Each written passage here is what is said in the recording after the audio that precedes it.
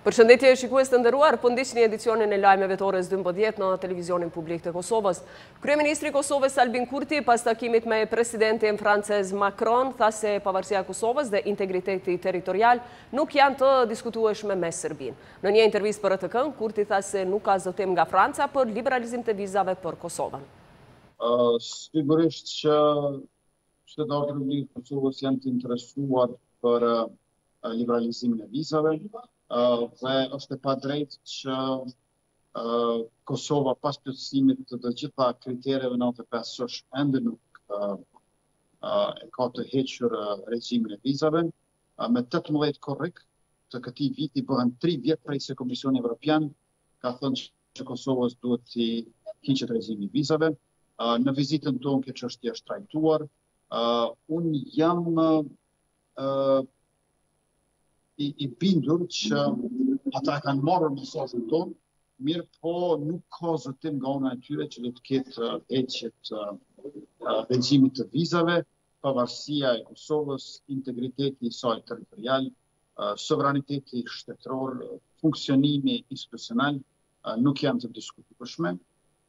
Me Serbinë ne jemi të gatshëm që të diskutojmë për statusin e marrëdhënieve tona, jo për statusin e Kosovës, sepse ai ka përfunduar me shpalljen e Kosovës shtet të pavarur para 13 vjetëve, dhe gjithashtu para njëmbëdhjetë vjetëve me opinionin këshillues të Gjykatës Ndërkombëtare të Drejtësisë, që e ka përfunduar debatin në aspektin legal e juridik sa i përket ligjshmërisë dhe drejtësisë së shpalljes së pavarësisë. Ne jemi të përkushtuar për dialog konstruktiv, Presidentja e Kosovës Vjosa Osmani në kuadër të vizitës në Austri ka takuar mërgimtarët atje.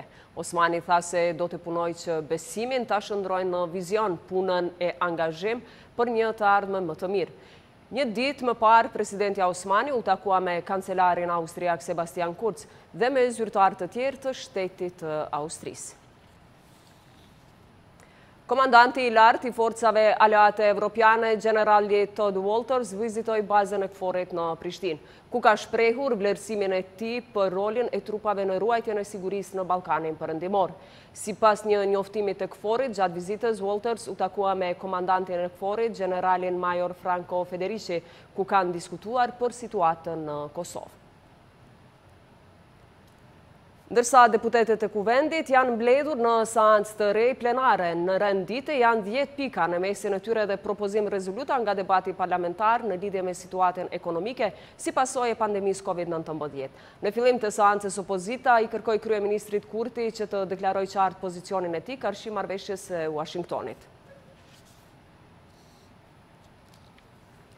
Ministria e Bujqësisë ka mbajtur diskutimin mbi rishikimin e sektorit të pylltarisë në Kosovë. Ministri i Bujqësisë Faton Peci tha se pyjet janë pasuri e vendit, duke shtuar se këtë vit pritet të aprovohet ligji i ri i pyjeve që do të rrisë transparencën dhe ruajtjen e pyjeve. Është bindja ime e plotë se hartimi dhe zbatimi efikas i këtyre politikave dhe strategjisë, kompletimi i kornizës ligjore dhe ristrukturimi i strukturave menaxhuese në mënyrë substanciale do të ngritin kontributin e sektorit të pyjeve dhe do të jenë aspekt dhe efekt të rëndësishëm për ekonominë e vendit. Kosova po përballet me sfida të mëdha të degradimit të ajrit, ujit e pyjeve. Këto duhet të jenë synime dhe prioritete të qarta për vendin. Pyjet janë me rëndësi strategjike për Kosovën, ashtu siç janë edhe për Suedinë. Me zbutjen e situatës së Covidit, kemi problemin tjetër që lidhet me natyrën. Pylltaria nuk është vetëm një sektor dhe vlerë shoqërore dhe ekonomike, ku shumë njerëz varen nga ky sektor. por edhe vlerë kulturore. Ministrja e Arsimit Arbërie Nagavci priti në takim të ngarkuarin me punë në ambasadën e Japonisë në Kosovë, Ogasawara Mitsunori, me të cilin bisedoi për mundësitë e bashkëpunimit në arsim. Nagavci e falenderoi Mitsunorin për ndihmën që ka dhënë Japonia për Kosovën, në veçanti për mundësitë që ua ka dhënë studentëve të Kosovës që përmes bursave të studiojnë në universitetet japoneze. Nagavci dhe Mitsunori u pajtuan që të punojnë për të krijuar mundësi të reja bashkëpunimi në arsim mes Kosovës dhe Japonisë. Ministria e Arsimit ka bërë të ditur se maturantët do t'i nënshtrohen provimit të maturës shtetërore të shtunën më 26 qershor. MASHT ka thënë se në koordinim me drejtoritë komunale të arsimit dhe me shkollat janë bërë të gjitha përgatitjet për organizimin e këtij provimi, duke u zotuar në zhvillimin e një procesi të mirëfilltë e të besueshëm, Ministria e Arsimit po ashtu ka kërkuar nga të gjitha drejtoritë komunale që për çfarëdo parregullsie eventuale në qendrën e testimit të raportohet me shkrim.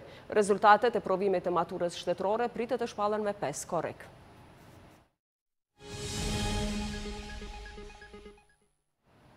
Një shtetase e Shqipërisë ka humbur jetën si pasojë e një vetaksidenti në fshatin Uglar të Gjilanit. Policia ka njoftuar se në veturë ishin katër persona dhe se janë dërguar në spitalin e Gjilanit në gjendje të rëndë. Policia është duke hetuar rrethanat e këtij aksidenti të rëndë. Sindikata e punëtorëve të Lotarisë së Kosovës ka protestuar sërish para ndërtesës së qeverisë me kërkesën për miratimin e ligjit për Lotarinë e Kosovës. Kjo sindikatë paralajmëron se do të vazhdohet me protesta deri në përmbushjen e kërkesës së punëtorëve të Lotarisë së Kosovës. Punëtorët momentalisht gjenden në një situatë të mjerueshme, përderisa u bë një vit që s'kanë pranuar pagë, thuhet në njoftim. Të nderuar shikues, ishin të gjitha informacionet e përgatitura për këtë edicion të lajmeve. Takohemi në orën 13 me informacionet e radhës.